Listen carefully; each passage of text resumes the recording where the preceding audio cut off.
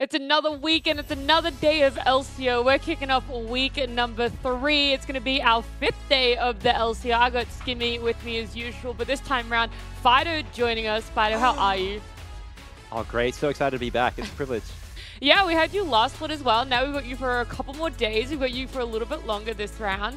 Um, and Skip, how are you excited to be having a third casting partner already? I know they're, they're, they're really putting me on my toes, making sure that I can, um, you know, do do great work with another co-caster. Look, Fido was a natural last time, so I'm excited to, to, to share the, the commentating booth with him once again. Yeah, I'm really excited to see what information he's going to bring. But first, let's have a look at last week. Let's have a look at the, the two best of twos that we've closed out week number two with. Out goes that hostile takeover. And in the encore, it's AoE ultimates galore. Now down in the all knock him up, bring him down, and crash him up in the air. As he gets dragged across the wall, taking him down assistance of that turret. And Kanga has just been wiped. Fast approaching 40 minutes into this one we are. As that fight does in every break on out. The Crimson Guard has been broken very early on. And drops them down the piercing arrow to kill. No! Yes, actually, we thought the hill finals enough, but no, the collateral damage from afar was there to get it done. In jumps Thomasino, ripping back Invictus. He flashes, he dashes, but he does not survive. There's going to a 4v5 because he's got no he's got all that movement speed from having the package boost running as quick as he can. He falls on down first of all. Tien leaps in, gets shoved on back. Jordan finds that kill, but now here comes Gizley, packaging into three. He can do so much damage, look at that! He's taken out so many with the assistance of Linas. Look how quickly it's been driven on down. Going to TP a little bit too late. That is the question mark. He's to TP the top. As in comes Ryoma, the fight's going to be a 3v5. The Barrett's on the way of Grand Tour shown five confused, but in goes Piper. He's got the Cataclysm on the entire enemy team. And surely easy picking. Rip back the Feathers King, find the position. He's already burnt the flash. So the Feathers are a little bit awkward, but they get the job done. It's that last dance, that final breath, that one chance to try and defend it all, but it's not going to land heads for them. They've been aced inside their own base. Raccoon Yes, give us the pose. Well, is back. He's absolutely mocked the competition here tonight. A lot of highs, a lot of lows that we had in that second day of week number two, and it does leave our standings looking a little bit like this. Ion, that uh, Dark Horse, a little bit of surprise. We tied in first with Antic and Team Bliss both getting 2-2-0s for themselves. Ground Zero and Fury having a 1-2-0, but also losing one It means they have three points. And unfortunately, our last three remaining teams, Direwolves, Mammoth, and Kanga, yet to pick up even one point, one game for themselves, Skip. That's right, Nat. Yeah, it's been a pretty rough affair for those bottom three teams yet to pick up a single point. They've not really found their mojo, their sort of like fighting spirit in these uh, initial weeks as to a brand new patch and a new season. Uh, and I guess, as you say, at the top of the table, Ion have to be the biggest surprise of it all. Um, they've had a, a fairly uh, nice strength of schedule. The, the, sort of the road to versing the big four, if you will, has definitely been on their side. But look, we're, we're all behind it. If they can win today, they've definitely got some momentum on their side. And we get to see is there more than the likes of Antic, Bliss, and um, Ground Zero really chasing for the title. Yeah, it is quite a close race up the top there, but Fido, we're going to have a look at your power ranking because I want to see how close you are. Whilst it is only two weeks down for that leaderboard, I want to see how close you are and where some of your predictions are. So you're there fourth uh, on the on the list. So walk me through what some of your predictions have been and, and why you've gone for the inverse of Ion there. Well, that's right, Nat. I mean, I made my predictions with the heart, not with the brain, because there's two people very dear to me on uh, Ground Zero. That's, of course, ex-teammates Lemus and Benvi. Um, and I'd really love to see them win, win, a title because of how much work they've put in. They've also got Synergy playing together on Kanga, playing together on Bliss, uh, now on Ground Zero. Um, they also have a shared passion for midwaves. Lemus loves dying midway on midwaves. He loves securing mid prior with his life. And then uh, Benvi investigates those pesky bushes. Um, so I think they've they've really got everything. Um, yeah. They've really got everything to succeed. Yeah, yeah. And then if you look at the jungle, we've got Shermfire, who's an actual monk in-game and outside the game. Um, he does martial arts, and in-game he plays the most disciplined League of Legends uh, you can get. You know, macro, focus, control. Um, and we saw a pretty poor showing out of Tien, but I reckon he'll be able to he'll be able to run it back. Yeah. And Kisse, of course, star in the mid lane. So that's for me, that's the number one team in the league. I mean, when you hype it up that much, now I'm kind of questioning why I put them in in fourth. I also did the I did a mix of mine, but Fido, I know you're going to tell me the truth. I know you're going to give it to me straight. Okay, did you guys actually collude about the fourth and sixth position here? How do all four of you, including Tally, Max, Skim, have the the same teams there? Oh, I guess we were. I mean, I guess we're all wrong, right? Because uh, it's not looking good. Ion definitely stepping it up. Um, I think it was just the player names that we got kind of baited by, but obviously the preparation is, is paying off for, for Ion.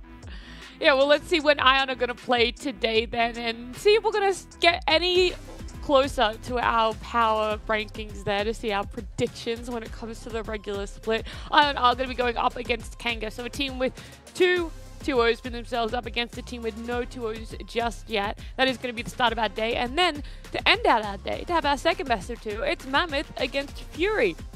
Fury, I think, Skim, really looking to solidify themselves in that second series against Mammoth. They, absolutely are, yeah. Chip had a phenomenal series in that one. He uh, showcased uh, an MVP stand-up performance on that Silas thing where the Gnar ultimate getting the massive three-man stun. Um, in the Gnar, or as the Gnar rather, into the sort of the Baron wall, wins it off that one alone. Um, I think, yeah, definitely uh, a quiet player when we have their interviews. A little bit nervous at times, but certainly in, in, in the game itself, um, a completely different beast. So I'm really excited to see if Fury can, you know, get one more um, road to sort of upping their own playoffs journey. As for Mammoth, mm -hmm. they'll be their second week now with their full roster, so looking to try and find a bit of momentum on their side too. That's true. They could just be a roster that's a, a, little bit slower to start, but we won't jump too much into our predictions for the upcoming series or too much about the roster specifically because this is going to be the last week that we're playing on the 14.1b patch. And so this is the last chance, Fido, that we're really going to see of having the double support item. And I know that you really wanted to talk about this. You wanted to explain more on what it accomplishes and how it really works out for some of these teams. Yeah, well, simply put, it's just uh, very good gold value. Not not quite 86,661 gold value, but uh, you do pay 400. You got a thousand bucks back in the quest, um, and then you get a little bit of gold regeneration um, per 10 seconds. So you get about 350. Uh, so you definitely get your money's worth. Uh, you get some wards down as well, so you get to uh, have two two ward items. And uh, the key, the crucial part about it, is that the support should be the one farming the cannons and the melees, because the gold that the support gets off the minions goes to the AD carry and vice versa. Um, and and the, the, the most tricky thing is that you cannot poke to use the stacks, because if you use the stacks to poke, you can't actually use the stacks on minions, and the stacks that you last hit minions with don't count towards the, the gold cap. So basically, you don't really reach the penalty um, very quickly if you do this correctly. So it's, it's a really good option, just generates more gold, it's overpowered, and I think we'll see the top teams using this more, um, more than the bottom teams, because it is it does take a little bit of practice. So what happens if both bot lanes go for the double support items? Like, what can we expect for a bot lane to play out like then, Fido? Well, if they if they do it before the first base, it'll be a very big snooze fest because it doesn't give you much, um, doesn't give you any uh, offensive items, right? So yeah. I think most of the time AD will start with Doran's Blade, and Sup will start with a support item just so the AD can actually trade and, and have some pressure in the first couple of waves. Um, but uh, yeah, look, I think if, if both bot lanes do it, then they're smart because this is the best strategy in the game on this patch, and you're a pro player, you got to abuse it. Yeah, and there's some uh, item upgrade options as well there, Skim. So when you look at those upgrades, are there any specific champions that ring a bell where you're like, this is even more broken on, or it's just across the board going to be really beneficial for everyone? Yeah, no, absolutely. I mean, Seraphine and Senna have been our go-to bot lane pairing to try and really abuse this one. Senna in particular yeah. clicks up the, the Blood Song. Um, very much a champion akin to like an Ezreal, where sort of new items always break that champion and make them relevant again. So um, not only you passively scaling up as a Senna with your soul stacks from trading and, and picking up those um, uh, minions, but also then suddenly you've got yourself a, a fairly DPS-oriented item that is a support one that can drop those walls, as Fido mentioned. So I think Bloodsong has to be probably the most OP one, but I think, yeah, Senna Seraphine, we've seen Sonas, um, any kind of variation of that, it's all about the sort of enchanters bolstering some kind of like pseudo AD carry that can be a support at the same time. Um, and especially like the double support bot lane, if you have like a really strong mid-game bruiser, like a Xin or an Olaf or something along those lines, uh, mid-game team fights come around, you get that one-item spike, um, you're just, you're winning every single fight that takes place in the map. It's really, really strong. Yeah, you, you mentioned that Seraphine as well, and it rings um, a lot of bells in my mind for yesterday. Uh, sorry, not yesterday, last week, the matches that we saw there. Maybe that's uh, just this patch that she's been you know, picked up and had a look at, but we played on two different patches now, Skim. And I mm. know that you love stats. You love talking about champions. Yes. So let's have a look at some of the LCO champions that have been around for both of these patches over the last few weeks. Yeah, well, you look at Ashe, for example, 100% presence has retained that through every single game. Um, but we've only seen two games of the champion played. Now, overall in the entire world, everyone's sort of clocked on very easily that are insanely broken. Very, very strong for the poke, harass, double uh, double range bot lanes, for instance, like a Varus Ashe, you just automatically win lane. And we saw what Bliss did that with uh, Limas and Ben V together. Um, you just out harass the lane, you can ban out their champions, force them into, say, like an Aphelios matchup. They can't really do too much about it. Um, Xin also in a similar sort of vein, very aggressive. Obviously, the items have certainly helped in that regard as well. You get the Titanic Hydra, perhaps the Sundered Sky second. One, two item spike, again, incredibly strong. You're a tank, but also so much damage comes on through that you can be uh, very aggressive, like a lot of the junglers have been. Level 3, diving bot lane, for instance. Level 6, you're looking to try and take as many of those Void Grubs, Dragons, whatever it may, may be, uh, as possible to try and say, I'm strong, let's force a fight. Jarvan is sort of the, the outlier I'm sure Fido will want yeah. to touch on a little bit more. Um, really high presence in Oceania, not the highest overall. It's always been one of those champions that kind of flourishes down under because we like to fight a fair bit. Jarvan is fantastic at that. A champion that is built to team fights. Doesn't really matter too much what your KDA is. It can be 0 and 5, or you can do what Swiper did, be that uh, be that KDA, still land a pentakill ultimate and just win the game. So insanely strong, but if you're more meticulous, more well drilled, um, I guess just better, flat out, for lack of a better term. Um, the other regions are picking different champions to try and get that point across. Um, do you know any of the other champions off the top of your head, Fido? Do you want to explore a little bit more about why this Jarvan is just so much more predominant in LCO? Yeah, I think Jarvan's a little bit of a bait pick. I, have been always a Jarvan enthusiast, uh, well renowned for my Jarvan gameplay, but even I haven't been playing him because the items just don't suit him. And that's the problem right now, where Xin Zhao kind of grabs uh, Titanic Hydra and suddenly he farms faster than Graves, faster than any champ in the game, and you've got a 12 CS per minute Xin Zhao you know, that's ganking you every every every two minutes, every clear. It's very it's very uh, obnoxious to play. Whereas Jarvan sort of, uh, you saw in that game where Swiper played it, he actually went down I think 100 CS against Xin Zhao, and that's just natural. That's the matchup. That's that's what the items do for the champion. So with Jarvan, it feels like there's a lot more pressure uh, to get stuff done early because you just can't keep up um, in the farm game. Do you know off the top of your head, Skim, the win rate difference between the Xin Zhao, Zhao and Jarvan? Uh, Xin is at 75 and Jarvan's at 100. So all three games that Jarvan's played, he's won. And then Xin has just, yeah, as you see, 100% presence. He's in as many games as possible. He's got eight games played. I think I think Xin is actually, yeah, the most played champion wow. in the entire league. So yeah, the win rate is going to fall down a little bit, but 75% over eight is still, um, yeah, pretty pretty impressive. Yeah, I mean, look, this is, there's still great stats, don't get me wrong, but if falls even more Fido into that, you know, Jarvan really looking more like a, a, bait pick if you're cherry picking some stats as well, if you feel like that that's exactly what you need to be able to get the team fight across. But you guys, I have loved what we've talked about in this pre-show. I've, I've enjoyed knowing more about the support items as well as some of the champions we can expect to see. But for now, we got to head to a break because we want to jump into our first series. So right after the break, when we come back, it is going to be that best of two between Ion and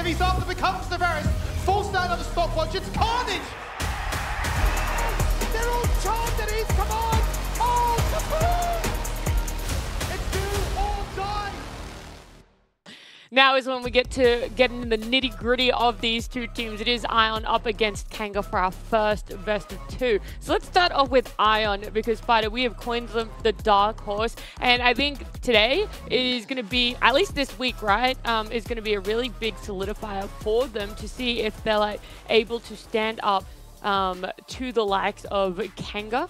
And this is going to be something that, you know, you're undefeated so far. How do you face the pressure when you're this roster? Well, it's, it's very difficult, especially when uh, Twitch chat hypes them up so much. We got so many copy pastas about them, so, so much energy being sent. And I reckon that's actually the deciding factor in their success. It's the Twitch viewers that we have to thank for, for Ion being at the top. Um, and of course, it's that man uh, on the right there, Nebula, uh, putting up a really good performance on the Lucian. Multiple games, kind of topping the damage charts. So nothing, nothing else to say, just 1v9 performance from him. Yeah, uh, when we came into the first week, Skim, Hexflash was talking about, like, you know, I might have to carry Nebula a little bit. It's his first game. There might be some nerves there. And then we talked to Nebula last week. He had absolutely none of those. So it's an amazing performance in the first two weeks for this roster. Absolutely. I mean, we talk about it at the start of um, uh, start of the show, just sort of the success story of this team. None of us saw it coming. None of us actually put it in our uh, power rankings. None of us really sort of expected too much from them. But as a bot lane pairing in particular, they've they've definitely answered a call and said we're not going to be afraid of the nameplates, not really afraid of the draft. I think Nebula and Hexflash as a combination are just second to none at the moment. I hope it really shines and we can get a, a like a more accurate understanding of, of, where they really place and rank amongst all the mm -hmm. bot lanes. Um, once they go up against Bliss, because I think we're looking at sort of the stats for Hexflash in particular. He's got like a 30.5 KDA, which is like, what, two deaths across all the games played so far. Um, to do that as a support, pretty impressive. Pretty good. Yeah, that is really phenomenal. And then now begs the question, how is this Kanga roster going to stand up to uh, the likes of Ion? Because Kanga, it was very easy to explain them as a team full of past subs and debutants, right? Some of the names might be familiar because you've seen them play a couple of games in the LCO before, but they've never actually really been on that starting roster. And as an org fighter that I'm sure you're familiar with, how excited are you to see them hopefully get at least one win on the board today? I'm very excited to see uh, Ryu Faker play. Big fan of him. His last name is quite literally best. Um, so he's got to live up to that. And uh, I thought that the top laner had a great performance um, against Tian. We saw Wudong get multiple solo kills uh, in a difficult matchup. And uh, they've had big gold leads, but they've kind of squandered them. So I'm hoping that we see a little bit of a redemption arc from them today. And what are some of your thoughts, Skim, for this, especially in that top lane matchup? Maybe how Doraemon and Wudong are going to be going up against each other? Yeah, I'm actually expecting a slightly volatile matchup up there, given the fact that uh, Wudong has been quite keen to entertain those 1v1s. He's certainly been a pretty proficient Jax and has had that denied away from him. But at the same time, Doraemon has had his Gragas banned away. That's how um, strong he's been on the bruises, right? He's got a really high damage percentage for uh, a top lane, and Doraemon is looking to try and showcase that, yeah, top laners can carry it as well. So I'm expecting a few fireworks up there. Uh, I think for okay. Kanga, it's a case of looking to try and figure out um, how to be a little bit more confident with your leads. We looked at Invictus on the Graves. Very, very strong, got a few kills, but didn't really push much of that further ahead to try and get mm-hmm. themselves a, a draw against Fury. Likewise, you look at the bot lane for like Rilla and Kurak. Rilla obviously busted out the um, Kalista, which is really, really strong as well. Got ahead in lane, but yeah, mid game came around and sort of like um, fumbled the lead a little bit. Wasn't able to you know, capitalize on it too much. So hopefully we get to see a lot of those unique picks again. But yeah, mid game, late game comes around. Um, there's a little bit more certainty and uh, conviction behind. Yeah, we're strong. Let's make something happen now. Well, let's see if uh, either of these teams are going to be more solid on their playstyle. We can actually ask them because we do have Doraemon joining us for our first interview here. Doraemon, uh, you got massive fans in the Twitch chat, first of all. Everyone's always constantly asking for your interviews, so I just got to give you the floor. Anything to say for all those big Twitch chat fans that are watching right now? Um, thanks for supporting us. We won't let you down today. We'll, we'll 2-0 these guys. I, I love it. I'm sure they're enjoying those big words as well. I want to ask from your point of view, how are you enjoying top lane at the moment in this uh, hotfix patch? And are you excited to move on to the next one already? Or is there something in your pocket that you're hoping to bring out? Um, top lane is just the same as usual. It's just K'Sante duty every game. It's pretty pretty boring, honestly. I think it's the same old all right, same old, same old. Uh, but how is it in the team, the vibes? You guys are undefeated now. Is there that extra pressure, or is this more of a motivator where you're like, let's keep this undefeated streak going? Um, yeah, I think the vibes are good. No one's everyone's ego is still in check. Um, but we're definitely more confident. We're definitely more confident in beating some of the top teams now. I like to hear it. Skim, is there anything you want to ask Doraemon? Yeah, kind of leading on from your point there. Um, obviously, going into a season, a lot of players say, "Look, you know, we want to do really well. We want to go for playoffs, or we want to win it all." You know, very generic responses in that. But are you almost a little bit caught off guard yourself by how successful your first few uh, few weeks of gameplay have been? Uh, not really. I I feel like it's going as expected. Um, everyone's just everyone's just doing their part. In on game day, uh, yeah, I think everyone's just doing their job. It's Yeah, Smooth sick. sailing. Awesome. Do Do you guys feel that you've been tested yet, Doraemon, or do you think that's still to come in the LCO? Um, I think next week against uh, Team Bliss, my brother, and uh, I'm gonna gonna teach him a few lessons. Oh, Yeah. Oh, hyping us up for next week already, and we haven't even started this best of two. But uh, very quickly, Fido, do you have a question for Doraemon? Yeah, my, we've seen you playing, uh, you know, the Gragas the tanks of the top lane a lot. Um, my question, I guess, is when are you going to draw the line for your coach? When are you going to put the foot down and say, look, pick me a carry. Pick me first, pick me Fiora. When's it going to happen? When are we going to see you on your, your 1v9 champs? Uh, hopefully that's gonna be today. You know, we've been we've been cooking in scrims with some new picks, and I hope our coach will let let us make it spicy. Hey, look, Awesome. we're, we're hoping for that as well. Doraemon, thank you so much for joining us, and good luck today. Thanks. All right, how much Spicy. confidence, Fido, do you actually have that there's going to be a spicy pick? Um, well, I, I think, you know, that's this is sort of, if they treat Kanga as a team worse than them, which is what it sounds like, they're coming in expecting to win, uh, then this is definitely the time to, to try out a different style, see if it works.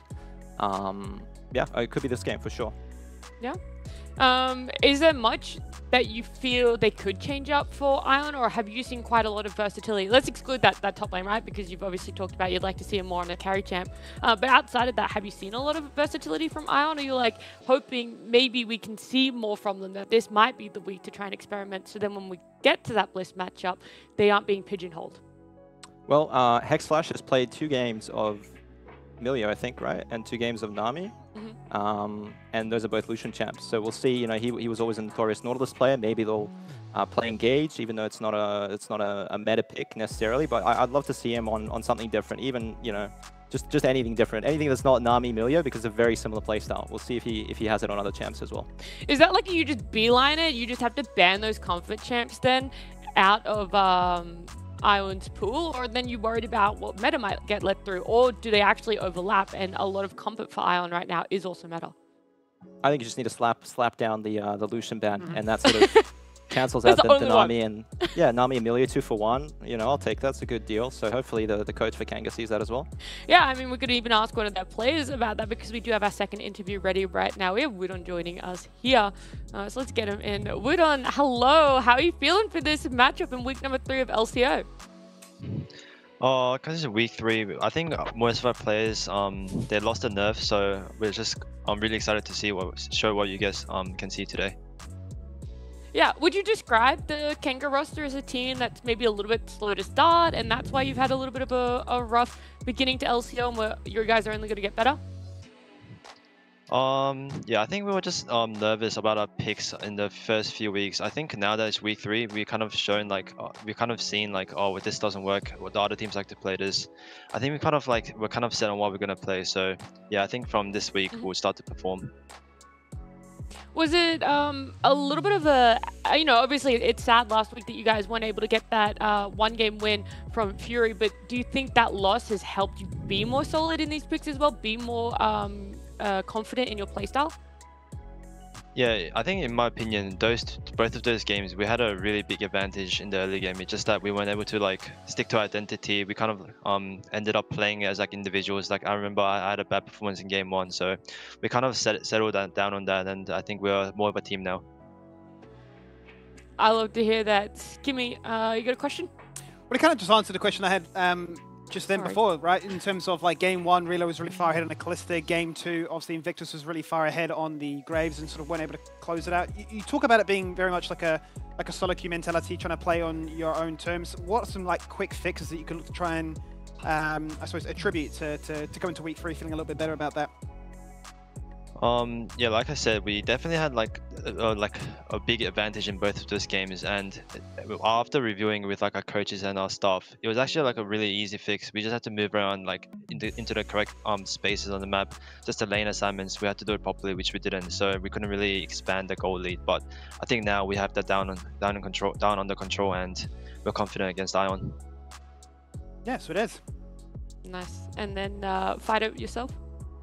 Yeah, I guess who's um who's sort of the most vocal on the team? Who's making the calls, calling the shots? Because there's not too much um veterancy or experience out of outside of uh, Fury. So who would you say is kind of leading the team right now?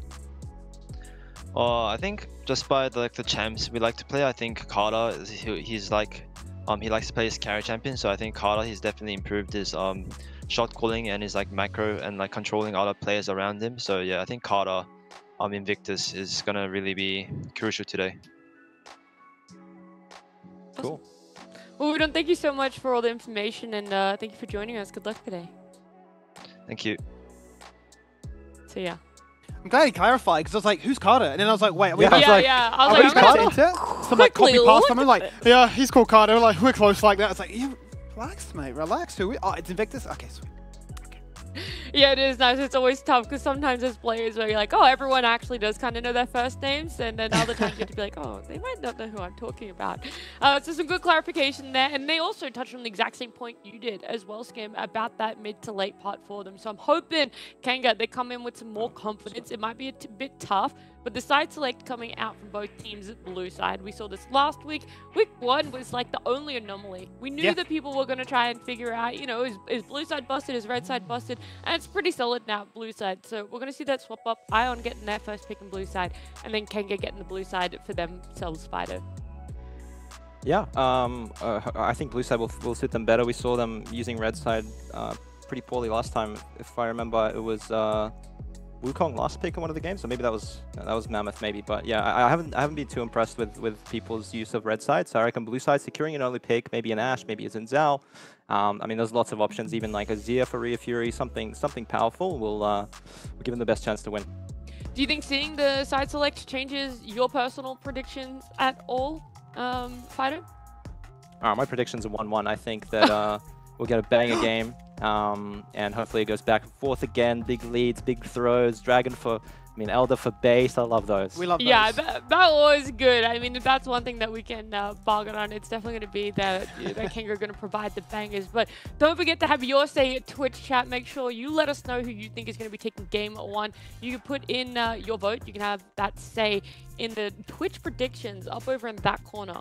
I always forget that it's mirrored. I have to put This way. point in the wrong the wrong direction, but it is over there. So Yes. Make sure you put those points in. Make sure you let us know. We had some really close ones. That Antic Ground Zero series last week, mm-hmm. 49, 51%. Let's see if we can have another series today that might be that 50 50%. But we can talk about our predictions a little bit more. You've already said, Fido, you're going 1 1. You think there is back and forth? You think Kanga have learnt their lessons? Skim, you're with me. You think. Ain't no way. Ion Well- are just way too strong right now. You talk Nat about teams learning lessons. I think I myself personally have learned a lesson, which is we don't ever have draws in the LCO. All we do is two O's. Two O's, two O's, two O's. Every single game last week, I was like, yeah, 1 1, this looks close on paper. Then it was just mm-hmm. straight stomps. So I think if the universe is true and it's unfair, which we know it is, then we're going to get a bunch of draws today just because Fido's here. I'm going to be made to look like an idiot, and then I don't know what to predict anymore. It's always that way. We're like, surely week two will provide that split. Surely week two will be the one when teams of learning things. But yeah, you know, we'll see if it's gonna be the the LCO. It's not really a curse, right? But more environment of two O's, or if it is gonna be that one one. Do you want to explain any more, Fido? Even though you already did a little bit about why you truly think it's gonna be that one one, despite Kanga not having a win yet. I think it's also like a mentality thing. Uh, generally in esports, like if you if you uh, have two teams that will be like roughly the same before the season starts, and then one team's 4-0 and the other team's 0-4, like the 4-0 team is less invested in winning because they're like, oh, if we drop a game, it's all good. Like we're still 5-0, like we're still having a good game. We're just testing things out, you know. Whereas the 0-4 team is like, you know, we need to we need to get a win now, guys. Otherwise, we're just the, the worst team in the league. So I think it's like motivational thing. Um, that's that's that's going to make this one one more likely. Yeah, I, and I mean, it also rings true, right? Because we had Doraemon in the interview, and he's talking about maybe I get that carry champ for myself. Maybe we do have a little bit of a pocket pick that could come out. So they try something new. That could be something that lends uh, to be a game loss for themselves. But we're going to see exactly if that pocket pick is going to come out. We'll see if Doraemon was lying to us or if we're going to have some spicy drafts because game number one draft is ready. Awesome, Nat. Well, let's jump into this one in Fido and see how this week starts off with Ion on the left-hand side. Instantly, they say, you know what, Reela? And you know what, Wudong? Those two champions that we've highlighted, not allowed to be played. As for Kanga, though, right on your uh, prediction there, Fido, is the fact that Lucian, gone. Yeah, yeah, Lucian is gone. So that's that's going to be interesting to see what Ion go with the bot lane. Um, in the bot lane, so Ion choosing to ban Xin Zhao on blue side, not interested in first picking it. Uh, we'll see what they go for, but a very bot lane uh, uh, focus ban phase from Kanga. Seraphine is still open with the uh, with the support item, definitely strong. Senna has been banned, but there's still other options. You can go Seraphine Sona. Um, I mean, there's a bunch of there's a bunch of picks you can go with it. They go with a Rumble first pick. This yeah. is uh, a bit risky.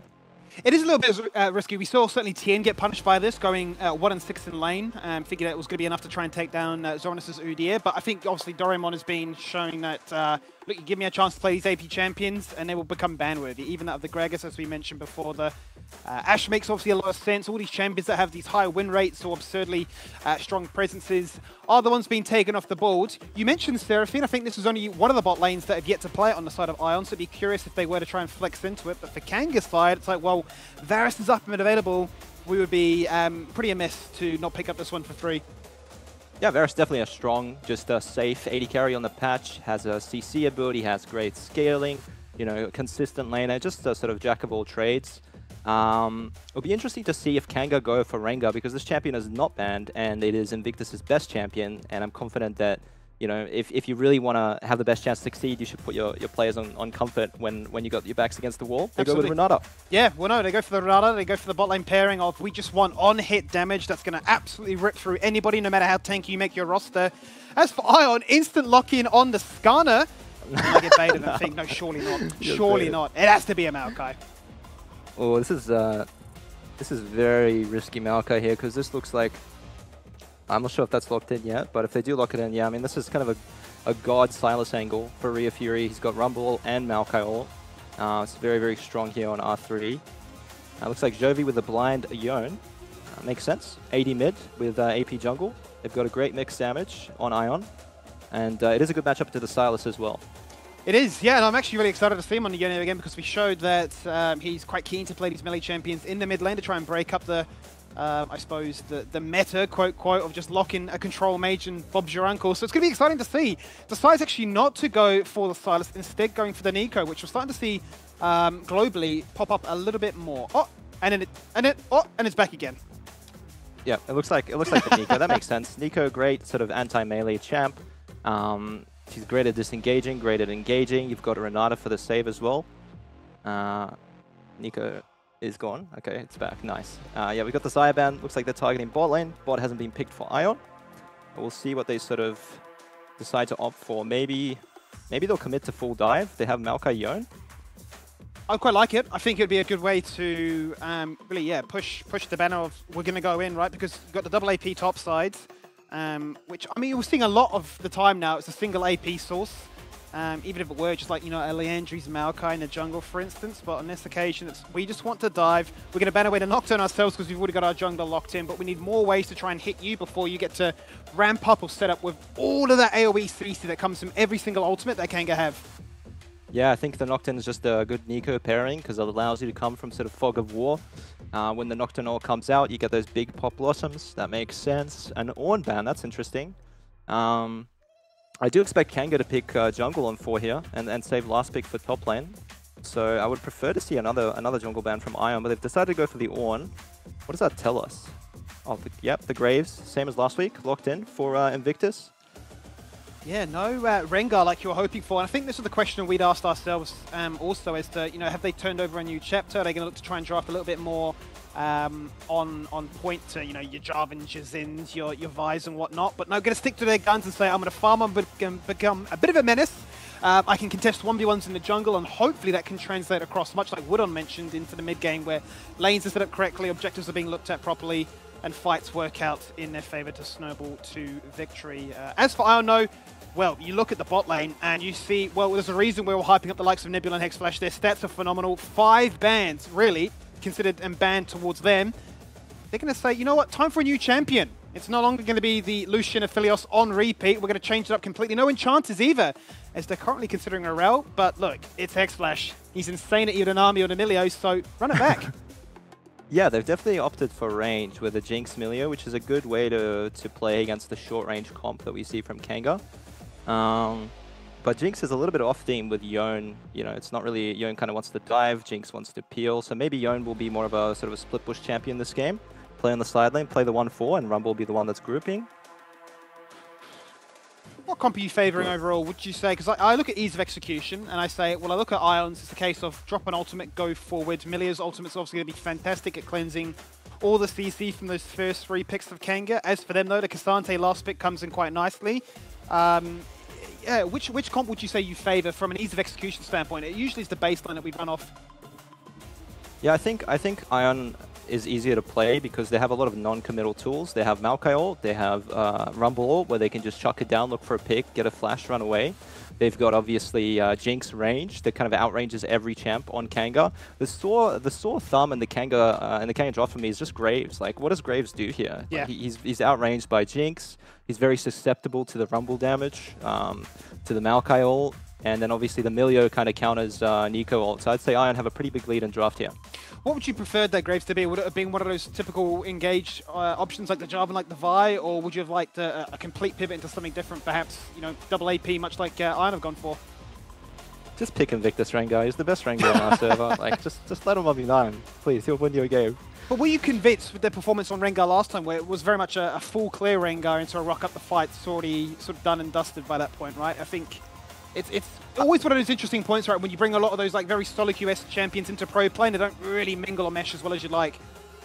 I think that's down to the coaching stuff, right? The coach just needs to sit down with the player and say, look, you obviously have played a thousand games more of Rengar than me, so you know what Rengar needs to succeed, you know what Rengar doesn't want to play against, what should our bans be, what champions do you want, what are the good pairings, like how do we enable you to have a good game, and then you just have to trust that the champion mastery is going to, um, you know, wash away the nerves and the player will execute, as long as you put him in a winning position. Mm, it's a fair point in that, in that regard. Do you think they can get a winning position in this one, in terms of early game, you're expecting them to play fairly stable, get Graves ahead and farm and look to try and contest objectives. And, and by that sort of point, you're saying, well, we've got all these anti-melee engage tools like the Neeko, like the um, hostile takeover. Do you think that's sort of their, their, their key success, like a very stable early game into mid, or would you much rather them go toe-to-toe -to -toe and say, Ion, we know you're going to be very aggressive. Once level 6 comes around, you're going to be diving us. Um, let's fight fire with fire. Yeah, I think you just have to look at the lanes, and the one that stands out to me is you've got Yone against Neeko, and Yone can perfectly, you know, just CS and, and, and stay even and, and play that matchup, but he will not have Prio, okay? So you have uh, a, a Neeko with Prio, and then you have an aggressive invading jungler with Graves against Maokai. So I would expect Kanga to keep up the pace, play very high tempo, invade, use that mid Prio to, to get Invictus a large lead in the jungle, and then slow, snowball that into some objectives. Let's see that if they can actually uh, look to try and link up those conditions, as you mentioned, Neeko and Graves as their mid-jungle pairing into a Yone, as well as a Maokai. So much CC um, on the left-hand side, right, for Ion to try and guarantee that if the skill shots hit, the person is just simply going to fall on down. Are you expecting top lane um, to be too volatile? Obviously, both uh, a Rumble and a K'Sante can certainly trade blows if given an opportunity, but do you think uh, the fireworks are, are most likely going to be seen elsewhere? I guess we'll have to see whether Doraemon uh, is is uh, cocky enough to take the Ignite. If he takes the Ignite, we might definitely see some uh, some action in the top lane. But like I said, I think Graves is just a bit bit stronger early game, so the 2v2s for for Graves K'Sante might be better than the, the Rumble Maokai top lane, especially because once K'Sante buys one Magic Mantle, that counters you know both champions, and that makes him incredibly tanky. Um, so yeah, we'll just have to see what the players decide, what the game plan is. Um, There's no, there's no right answer. That's the beautiful thing about League, isn't it, Skimmy? It's all uh, very grey. It really Yeah, is. It's, not black and theory, white. it's perspective, it's in the moment of, yeah, well, I feel like that was the right response. Um, quickly, as we load into the Rift here, let's talk about scaling, because obviously it's the uh, favorite term down under, right? You can have this phenomenal early game, you can snowball, you can flip the game at level one invade, and it may all go pear-shaped from that point onwards. But having a quick glimpse at both comps, do you think there's a certain side, if it were to go late, that would just benefit greatly? Yeah, I think Iona are definitely in the driver's seat just because of the Yone uh, K'Sante matchup. I think Yone, once he gets to, you know, three, four items, he definitely can beat K'Sante on side. And then you've also got the mid lane Jinx, who outranges Varus, right? So that's easy mid prior. So you've sort of got a, a winning mid lane for Ion late game and a winning side. Let's see then, Fido. Let's load ourselves into Rift here for game number one. A battle really between opposites thing, uh, opposites attracting in, in the sense that Ion 4 and 0, Kanga and 0 and 4. You said it's motivation for Kanga. It certainly should be. And it looks to try and convert that into a level one invade. Nebula actually with the rocket launcher active. This is going to remind Invictus. You can plant that wall, but I know exactly what you're doing. And Jovi's seen them all walk in. And even he's going to say, well, I'm going to drop you low. Have fun with your jungle clear. Yeah, yeah. I mean, that was a ballsy invade. Really, not not not checking if if if they're being watched. Just kind of going in for the ward. Uh, not expecting Maokai to start red trinket, which I think is a fair guess. You know, Maokai wants to ward for the invade himself, so yeah, just kind of standard play. Both junglers know where each other starts, and uh, we start start the game. We do start the game, yes. So let's have a look at bot lane in particular. That's where uh, it should most likely show the most signs of action, given that has been um, really the common theme of the LCO so far. It's all been about can you get level 2, and then can you get the siege to push, and the ability for your jungler to then interact as a result. Will we see a level 3 gank from Foreigner? Hasn't really been his tendency, but certainly can, if given the opportunity, get quite aggressive in that regard. Has been filling in this very much uh, engaged role with the likes of Jarvan and Vi to his name. And Maokai certainly with the easy engage of a Nature's Grasp can make things, or Twisted Advance rather, uh, certainly can make things happen in that same vein. Level Yeah, so we see. Graves is just doing uh, Graves is doing a, a top clear down, but Maokai is doing a, a bit of an interesting path. I think this is what uh, some people call the the uh, Void Grubs path, where you kind of do your bot side, uh, do the top side, do just the bot side again, and then run to Void Grubs. So uh, it doesn't make it very efficient on spawning the camps, but it does mean that you sort of arrive at Void Grubs uh, by five minutes, and you can contest them. Um, so we'll definitely see Graves kind of get ahead in the jungle, uh, just from his path alone. Yeah. What, what do you make of Void Grubs as uh, somebody who's been playing the game for a hot minute? Do you think it's been a, a positive change to the game, or do you find it kind of annoying?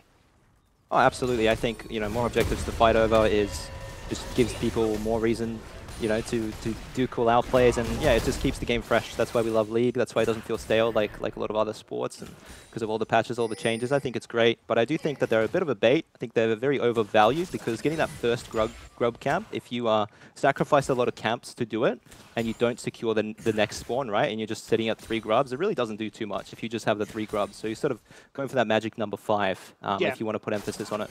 Yeah, we've certainly seen it happen a few times where teams have rushed the first one and maybe all in a little bit too hard to try and get the follow-up ones, as opposed to maybe just setting up a wave or just getting turret plates instead, which in recent weeks, I think actually uh, last week we saw a prime example of that. The first three went to a certain team, then as a result they said, well, we know that the opposition are going to think we're going to go for that. Let's just get some turret plates instead. Easy gold. And um, as you say, not going to get baited by the allure of what that one could offer. Doraemon, going to keep Wudong in check here. Drop him down low, about 30% as a result of that. Nice that Flame Spitter. Wave's going to crash Yeah. as a result as well. And he has run the Ignite here, Fido, right? So he is all in and trying to snowball this lane. If he falls behind, there's no TP to bail him out. Could be a kill, Skimmy, if he decides to go for it, but I think the minion wave dies a little bit too quickly there.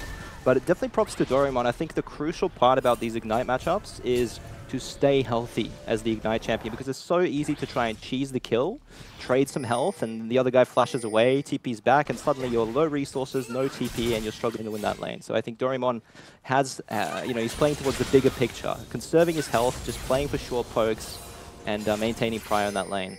Absolutely, as you saw there. Nice little recall from uh, that Foreigner. Dodging out that ward that was placed. Invictus is going to rotate up to the top side, but Ward's going to spot him taking these Krugs as well. So Doraemon fully aware of this one. Not going to show any signs that that vision has been planted because he's just still pushing like you would not believe, making sure that he can get a good first base. Um, and ideally get a nice uh, purchase to come back to this lane and can continue to be as aggressive as this with level 6 not too far away. Yeah, look at the bot lane. That's a huge CS gap. You know, Varus, Renata, Kurok, and Rila just uh, putting on quite a show. 10 CS up already. Um, they get the tempo base as well, so uh, I doubt uh, Nebula and uh, Hexflash will be able to crash this wave. Uh, maybe Red Side can pull it. That's huge. Invictus looking for a mid gank here, but he's playing Graves with no crowd control. Yeah, it's going to be a smoke screen, and that's about it. You're really looking at Refury finding the moment to try and hit that Okay. uh, route. He goes for the flash. There is the damage, and that is the conviction you need to get yourself on the board and starting off with a Graves that wants to do damage. Yeah, that's a little bit of jitters from Jovi there. He actually W flashes backwards, just kind of a panic flash and misses his W. And your W gives you a massive shield that's been buffed multiple times. So perhaps if he saved his W there and got a two-man shield, he would have lived. Uh, but not to be. Foreigner using the opportunity, uh, using uh, the fact he spotted Graves to do the, the Void Grubs camp, and it's a little bit of a trade. A Dragon for Void Grubs. I'd say that's pretty favorable for Kanga, uh, because the Dragon does give you sort of a guaranteed uh, win condition if you get two of them, whereas the, the Grubs, you know, if you miss a couple, it's not as impactful. Absolutely. You do, do see on the uh, the interface there now, you can um, actually got a bit of a track in it shows. So three grubs going the way of Ion. That was the trade-off between you go for the dragon, you get the first blood. Well, I know exactly where you are. And we can look to pick this one up as a result instead. Speaking of those power spikes, uh, is going to return to lane with level 6 advantage, Sork boots as well. I mean, if these harpoons land, uh, there's just no resistance left on Wudong. He could just die on the tower. Yeah, Wudong is just getting crushed in this matchup, minus 20. That's a big number at six minutes. Um, you do expect K'Sante to sort of struggle against the Rumble with Ignite especially, but uh, he needs to try and keep that lead to a minimum.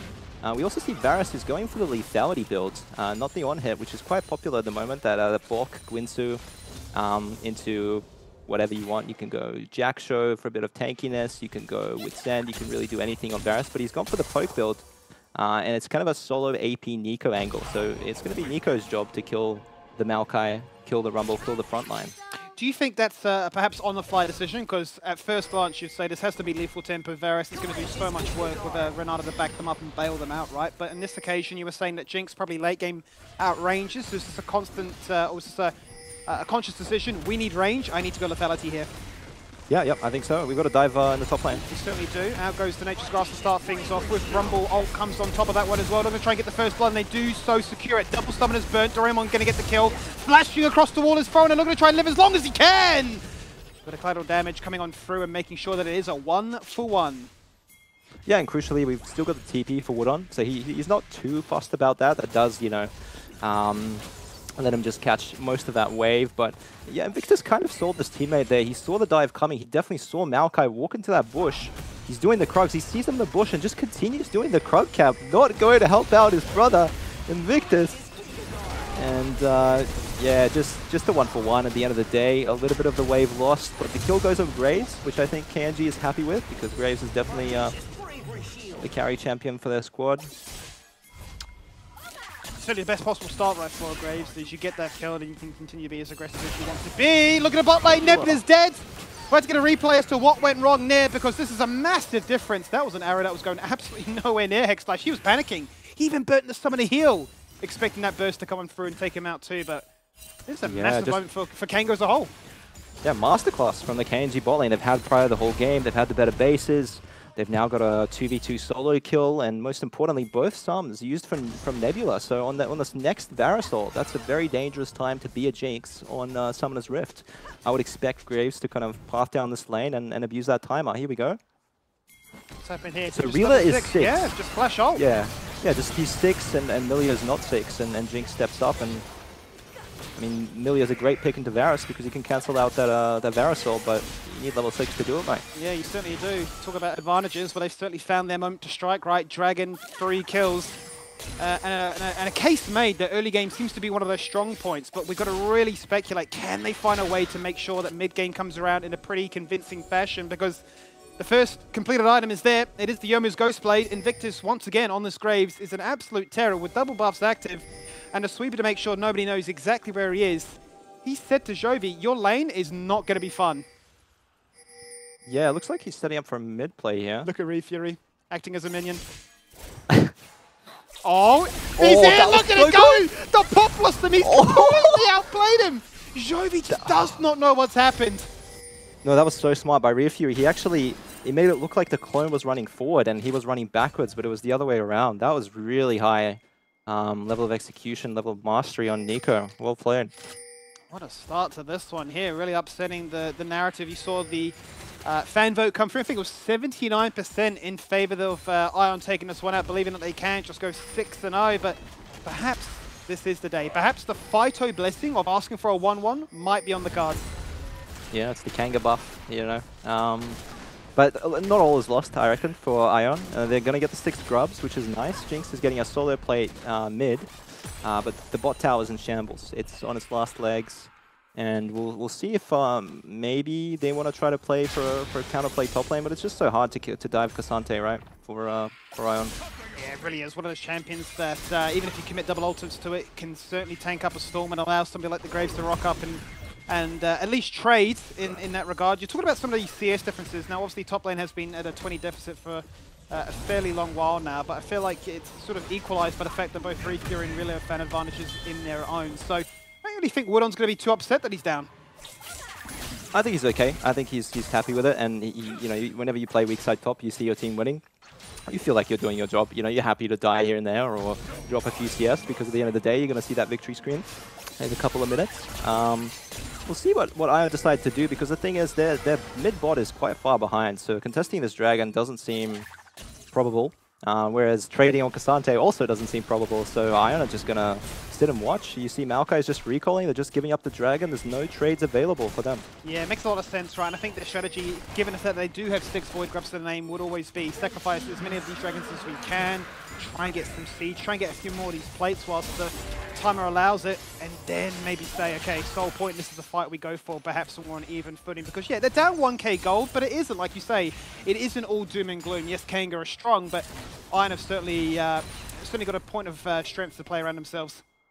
Yeah, 100%. Ion do have uh, the late game uh, in their pockets, but it is an Ocean Soul, and you have Poke Varus with an Ocean Soul. That is uh, a very good combination. Uh, you keep poking the enemy down, and you regen yourself. So uh, we'll see. We'll see where Ion choose to go from here. I think they need to try and salvage this bot lane, try and relieve the pressure of Jinx, because if this bot tower drops and uh, Varus goes mid, it's going to be the same story. Yeah, certainly will be. It'll be a case of asking them to attend uh, the mid wave, and it won't be too easy, given the fact that Kanga have hit their breakpoint a little bit earlier. Every single person, bar the support, has picked up their first completed item. They're feeling incredibly strong. Want to be quite keen, I'm sure, to invite um, uh, a little bit of a skirmish at, what, only 12 minutes in. Yeah, and, and really good decision from Wudong. He's just skipped the boots and just rushed the item. Look at that. He's down a kill, down 25 CS, and he's ahead in items on Rumble. So he can actually fight him. So that's that's very smart itemization from him.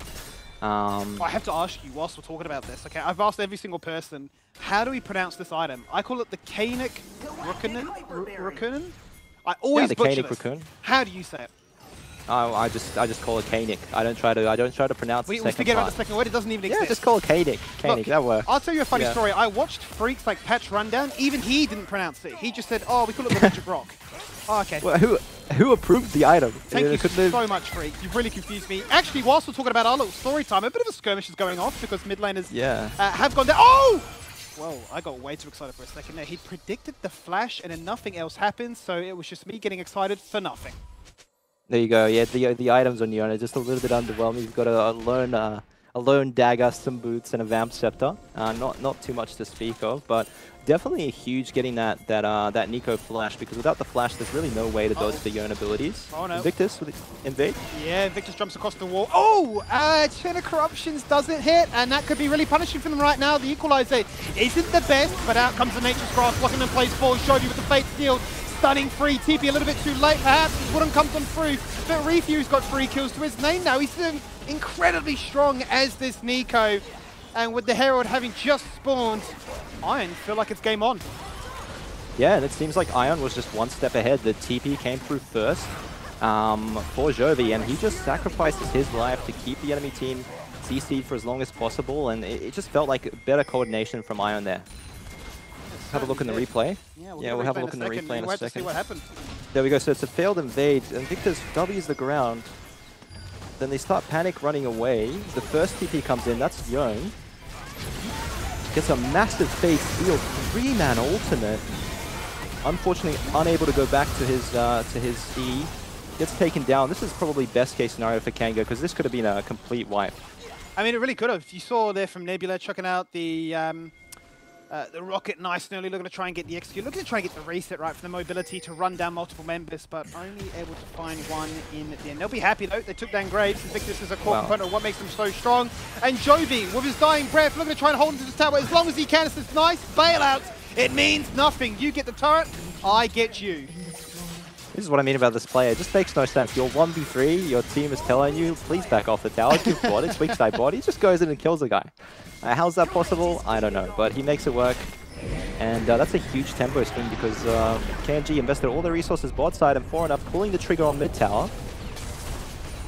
Did. Not going to be enough to try and take down that tower, but with six stacks with his Void Grubs ready, it only takes a couple of wall attacks here from Nebula, who is within uh, range, to make sure that they do take that one down. So there you have it. Mid lane finally open in favor of Ion.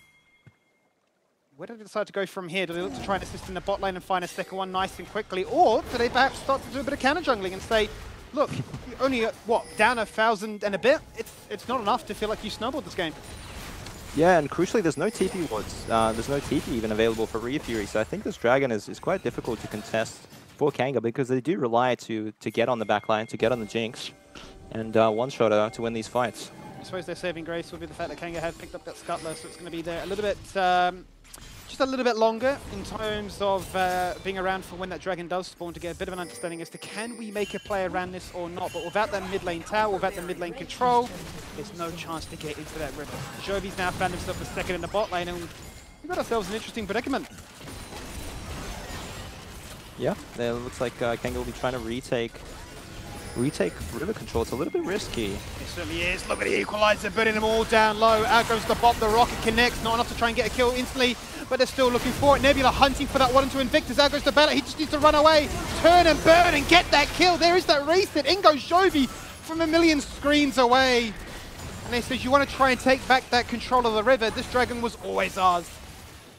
Yeah, I think uh, really Kanga just needed to accept that without the teleport on, on Neeko, without any sort of flank opportunities, the Dragon was just too hard to contest. They had to get that top wave pushed out and uh, try to trade the top tower for it, but uh, they didn't, and they paid the price. But they're walking in, I mean, Fog of War, this is perfect equalizer. Have you ever seen a better equalizer? They're next to a wall. Uh, it's just as good as it gets. Maokai ult as well, undodgeable. And uh, yeah, walk away with one kill and a dragon to boot. There you go. Fate sealed. Well, ultimately, Wow. you killed the fate of that fight because they flash away. You've burn a summoner, and you're going to be quite happy with that one. Yep, sure, really does have his open available very shortly, but I feel like you really are rallying around the Refury show, right? 3-0, only bounty that they have available for them has had a pretty commanding performance, but you've allowed Jovi to play the split pushing game and try and claw his way back in. Yeah, it seems to be a minion in the bush in the top lane. That's very suspicious. Uh, going for a play there, but not to be. Uh, I think I think the biggest thing to look at here is the lane assignments have to be spot on for KNG. KNG cannot allow K'Sante to play into Yone because the thing is K'Sante has a magic resist item. That's all he's got. So this Yone, even though he's behind, he will, he will eat K'Sante for breakfast. Uh-oh. Doraemon, he couldn't count numbers, he didn't realize. It doesn't even matter! Three ranged minions, I see a fourth one. That's a little bit sus. How about a double kill? Easily baited. And, uh, I mean, Doraemon is just a goat. He's 5-0, Fido. Yeah, he promised us uh, to pick a carry champion, and he's picked the carry champion, and he certainly is carrying. So props to him there. Yeah. Um, not really sure what to do for Kanga now. That, that was their tempo. They're definitely playing the tempo draft. They have lethality champions. They're shorter range. They're going for these trying to pick offs, kind of desperate pick offs on the side lanes. It's not working out. What's the next step? Yeah, it's so disastrous as well, right? Because not only do you get punished by the death timers and the denial of XP and CS, but also those towers are falling on down so, so quickly. With six stacks, they just do not exist. Yeah, Doraemon is just saying, well, I'm 5-0. You've tried to have a crack at the mid lane. You've used your most fed member, and even that hasn't been enough. So for the first time in this game, um, it's actually Ion up taking control of the gold lead. Now they're the ones up by 2k.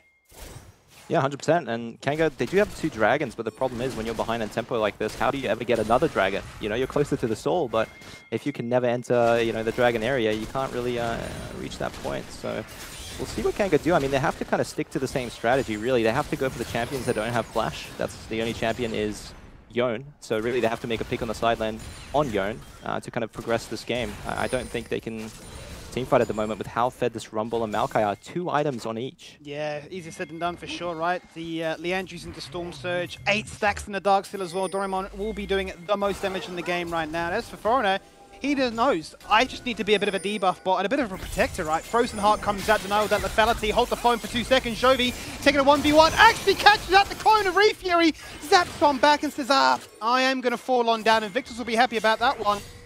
As for Ion, it's like, well, what can we get accomplished now in a 4v5? Yeah, that's perfect for Kanga. That's exactly what we said. You have to pick off the champion that has no stuns. and Milio always has the ultimate mid lane, so it's, it's a harder target. They go for Yone, they get the pick off, and uh, they kind of Baron. delay the game. Baron started for Ion. Not too fast.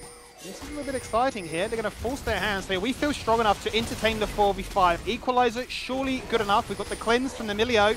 We believe in our mechanics. Out goes the Nature's Grasp. The early TP, is that going to go to waste? It certainly is. The numbers advantage means absolutely nothing. They've literally got a TP for free. Yeah, we'll see if they can get the mid tower. If they can get this mid tower, it's definitely a worthwhile TP, but they're a little bit slow Oh, moving back to it. TP's not going to happen. But Jovi's coming in with one of his own right now. Look to try and find the moment. He has no ultimate. He has no flash. He doesn't really have much, but his body on the line to say, seeing me alone was enough to force all five members back.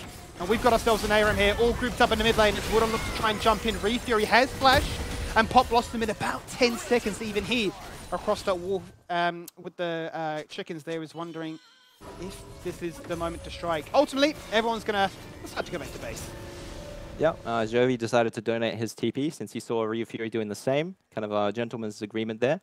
Uh, I don't think anything was really going to happen there, right? With Without ult Yone, if he goes in there, he's kind of a dead man. So uh, we go back to the stalemate. The game stabilizes. Uh, the game plan for Kanga probably hasn't changed. I think they still have to make a play on the side lane, on the Rumble, perhaps getting his bounty, because whilst he does a lot of damage, he's very squishy. No Zhonya's, no magic resist. Um, Kanga retaking bot side, enemy bot side vision for this dragon, setting it up. They've got the mid prior at the moment. And Neeko. into something that that's the, uh, the real question in ask. If they can look to try and make sure that two becomes four on these dragons, they need to get some mid lane control. So finally, mid lane has been completely destroyed on uh, either end, and the dragon's up in 30 seconds. Yeah, and everybody's got two items except for Jinx. Um, and Cassandra, I suppose. So, wonder if that changes anything for Kanga. They're running after Jovi. Yeah, there's the uh, Youmuu's burnt nice and early. Jovi looking to be the focus. A one-man ult from the Fate as he jumps in, jumps out, rips back that clone and tries to get a kill, but only into the waiting arms of Wudong and Rela. Re-Fury Invictus burned down so low by Doraemon trying to do it all on his own with the Equalizer. And I think that alone, even if it hasn't got the kill, it has denied the Dragon. It's bought them more time. And a comp with more range may get four Ocean Dragons. Yeah, definitely. And uh, it seems like Kanga, they, they get this one kill consistently now, multiple times in a row. They get a pick off, but they can't get anything with it because too many resources used on just the one, just, just the Jovi kill alone. So they have to back away.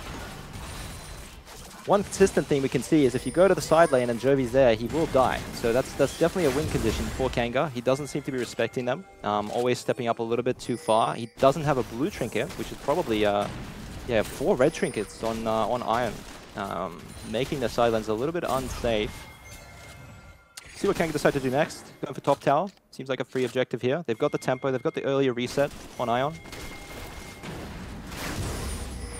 see what they can get accomplished with this bit of tempo. Then they're going to go, uh, look to try and turn that attention into the top lane, find themselves their third turret of the game. So every single adder has now been destroyed. Rilla perhaps Rilla. caught out in the mid lane. Four members converging on a spot, but without any kind of uh, or movement speed boost. Um, unable to try and find that one. Already burnt by Hexflash there. Yeah, looked a little bit scary there. Um, but nothing ended up happening, and Jinx has a bounty. Zero kills Jinx has a bounty, according to Riot Games. So uh, Nebula very strong right now uh, for Ion. Let's see then. What do they decide to do? What is their next point of call? 'Cause I feel like for the lethality champions, maybe three items, that seems to be the break point when it starts to say you don't really get much stronger than this. I'm sure when the likes of a Rumble and a, uh, a Jinx can really start to take over the game. Two items complete for Nebula on this Jinx so far. Baron is already down to 50% and a TP coming in from Kanga right inside the pit itself. A second time they forced their hand at the Baron. The second time they've received the summoner for it. Looks like a bit of a disengage from Kanga. They're still holding the bush. A lot of posturing from both sides. Nobody's confident enough to engage. They know that Renata bailout is there. They know the Milio ult is there, so you sort of have to bait out these abilities first before you commit to a proper team fight. And uh, that's one teleport down for Kanga, but the advantage is uh, they have two. Whereas Zion have only one with the Rumble Ignite, so it hasn't really changed the game plan for Kanga. I think they're still okay, but definitely on the back foot in terms of vision on Baron. Let's see then, with Foreigner clearing out the vision, all three wards in the Baron area, you're not really looking at too much uh, understanding as to what is going on. A nice one point outside the Baron pit, but still one inside. They know exactly what is going on here from Ion. Invictus waiting out of vision, out of sight, and out of mind as the other three look to try and group up inside the entry point. A two-man ultimate layered beautifully there with the equalizer as Jovi tries to go absolutely crazy with it. He's one and five, but it doesn't seem to care. He's jumped on back, and the Baron is only now just dropped. There goes Jovi, still taking up the world, but forced to flash away, receive the shield, and live to fight another day. A 5-0 Rumble finds another, and the Super Mega Death Rocket does not find its reset. Yeah, and th that fight just came down to Rhea Fury thinking too long about his teleport. Might not be over though. Foreigner just gets his base cancelled. No Baron here to pick up 4 Ion, so it's just a couple of consolation kills. Uh, and most importantly, Neeko did stay for Flash, so there's that tool available, uh, whereas uh, the Jinx has lost hers. So the next team fight could be crucial for Kanga. But that fight was pretty much just 4v5. You see, uh, Rhea Fury's pushing the bot wave. He really just needs to go in. As soon as he sees the Maokai ult, he needs to channel his teleport, but he doesn't. And this teleport is still not being channeled. Now it's being channeled, but Kurek's already dead. Everybody's disengaged, and uh, Rhea Fury's in Narnia. Uh, not sure how he survives here, but he does. And the fight just kind of phases out. There's nothing to get here for Kanga. Yeah, a TP that's found little to no value, right? You pop a clone, you walk away and say, that was my job well done. But once again, we've talked about just how strong uh, this Neeko has been, and the ultimate being up and available certainly can cause a few problems if Ion are grouped up like they have been, looking to try and rally behind the Maokai, for instance, and there is no Breath of Life available for the Milio. There is no cleanse. They are in a world of trouble. Not going to be deterred, though. They are going to try for it once again, and with another dragon spawning, dragon number five, up in less than a minute. It's a Yep. question of, will we be doing a trade here for the Baron, or will we all in on this one objective down south? Yeah, that's what we were talking about with the Jinx range. You know, they're comfortably getting mid prior now for these objectives in the in the mid to late game, and and uh, importantly as well, look at Yearn items. He's got a QSS, so that adds a lot of kill pressure on the sidelines. Ryu Fury not able to just E him and run away anymore. Uh, definitely has to be a lot more cautious when when playing that 1v1. Yes, it does. But I've never been so scared of a 1 and 5 champion. It feels like we've really hit that sort of solo queue point of an 0-10 Yasuo just being an absolute terror in this game. Could single-handedly uh, win or lose you this game. Yep. Has been causing a lot of Oh, pressure. As I said, out goes the One bot more. Boston. There's the Nature's Grasp. We're going to try and lock down as many members as possible in this mid lane. One man ultimate onto Invictus coming out of Doraemon. Not enough to try and get the kill, but in comes Jovi with that TP looking to go for the one man ult onto Refury. Remove that mid lane assassin and say, I need my vengeance for an awful mid lane performance. Out goes the clone. It does not matter because Nebula's found his first kill. There becomes the double kill. The bot slow, and Kurak is now lined up in his sights. The shield as that a handshake forward, and Kurak shreds him down. No bailout, no denial. It's a triple kill for Jinx. It's a Baron on the menu. Yeah, triple kill for Jinx. Gimme in this game is just completely in Ion's control now. Uh, they've hit the late game, they've hit the item spikes, and now they get a free Baron. Jovi's not done yet. He wants more. He Oh, says, wow. We know you'll go for this dragon. We know you're not going to check this bush. I can Cheeky. stun something. He's sneaking behind them. I dare say he'll face check them as well. Or in Oh, Wrong their bush, face. mate. They're not looking. Are they in the shop? Oh, no. Wow, that's very unlucky, but it's very, very good play from, from Jovi. Um, you know, understanding that he doesn't need to commit himself as a resource to Baron, it's already secured, and he's trying to get even more on the other side, make sure that there's no sneaky uh, dragon takes happening, and uh, we've got the replay here. So a solo one-man ult on Rumble, it, it can work, but it really needs to be his whole team committed. You know, the Varus ult needs to follow up here, but Varus was charging his Q there, so Doraemon gets to live. The Renata ult, very mediocre, just hits the Rumble. And uh, Rhea Fury, no ult, no life. Very hard to survive. Uh, gets a good Zhonya's off, but then the perfectly timed Jinx rocket from Nebula takes him down, and once that Jinx gets a single reset, the rest of the fight is just run away if you're Kanga. Yeah, it was a very awkward fight for Kanga, wasn't it? I mean, you see Rufio going for the one-man ult, instantly gets cleansed out by the Milio, and then after that you're thinking, well, what's your next step? You've kind of exhausted your, your potential here, maybe hard forcing a fight that wasn't really ideal. The consequence has been that you've lost all these members, you've lost the Dragon, you've lost the Baron, and you've granted Ion an even stronger sort of mid to late game position. Yeah, I'm sorry to say this, Skimmy, but uh, ReFury have um, Kanga have two CC combo. They've got the Neeko ult and they've got the Varus ult, and now Amelia has a uh, his ult and a Mikael's. So how do you get picks now? You've got two cleanses, three if you count the QSS. Uh, you just these champions will never stand in one spot and let you kill them. Yeah, QSS, Cleanse, Summoner, all those abilities familiar themselves. I mean, yeah, as you quite rightly say, your champion has pretty much been invalidated. Drop two ultimates, zone them away from the tower. You can have lethality, but you aren't doing much. Oh. Nice shield, nice try, no bailout, no chance to survive. And Ion have been given a sniff of blood, a, a sense of urgency that we're just far too strong. You've had your fun in the early game, but late game is where we shine. Yeah, and the Cryptbloom explosion at the end, love to see that. Um, very pretty, very very satisfying when, when you get Cryptbloom as a mage on the Rumble. And I think this is just the beginning of the end, Skimmy. They're knocking down the door of the second inhibitor. There's really no engage for Kanga. Just have to sit and watch while their base falls to pieces. That certainly does. So easy for them to take down these structures as well, given they have all six stacks of the Void Grubs. Two inhibitors claimed, all the Void Mites spawning, and just basically creating a second army bolstered by the Baron buff. It's, yeah, as you say, very, very hard to try and contend with, and really, this is now Ion's game to lose. 100%, yeah, you made a good point. The, the Void Grub's now paying off, definitely in these sieges, uh, making it much faster um, to take down these towers. And also, even if your wave dies, right, you got an extra couple of shots that the Void Grubs uh, can, little Voidlings can, can tank for you. So, seems like Ion's plan to play for Void Grubs has, has worked out. They've played for Void Grubs, they've uh, reached the late game, they have multiple cleanses, they outrange. It's, uh, yeah, it's checkmate.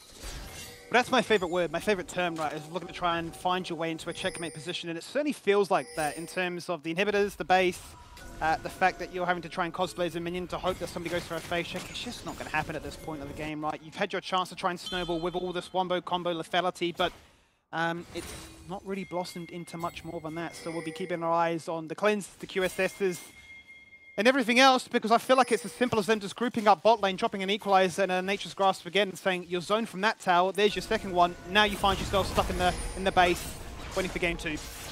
Yeah, that's it, Skimmy. They just need to play uh, two lanes, really just put four people bot, um, one person mid to sort of threaten threaten the flank, threaten the end, and just comfortably hit this tower, close out this game. But Kanga, they still have a chance. We do have the, the flash on uh, Neeko. We've got the flash on Reela as well. Here we go. We've already found a moment to strike. Kurek is the target, and Kurek is the kill. In and out. In a flash really there for Jovi. Blink, and you will miss it.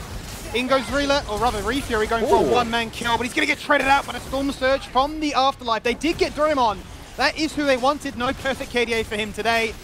But the price is that your base has now been completely annihilated. Not a single inhibitor left standing. And now you have a very exposed core. Yeah, and that's the story of this game, Skinny. They keep getting one nice pickoff, but just run out of steam to kill the rest of the champions. There's so much threat here on the side of Ion. The Yone, the Rumble, the Jinx, all carries in their own respect. And uh, they've executed beautifully to get this win. They certainly will be. Zone back to the fountain is where they'll find themselves the remainder of this game. One last chance to dance inside the Nexus, but at 33 minutes, Ion bring it all the way to a close. What a fantastic game one to turn um, really what was a bit of a dire early game into a very commanding mid to late. Yeah, they look calm, collected, um, confident for game two, I would say. So we'll see what Kanga uh, decides to change when it comes to, to the draft, perhaps, uh, because it did feel like they were on a time of this game, and that's what it that's what ended up costing them. And it certainly did. Ion currently taking the lead. We're jump to a quick break, and we return, it's game two to see if they can take all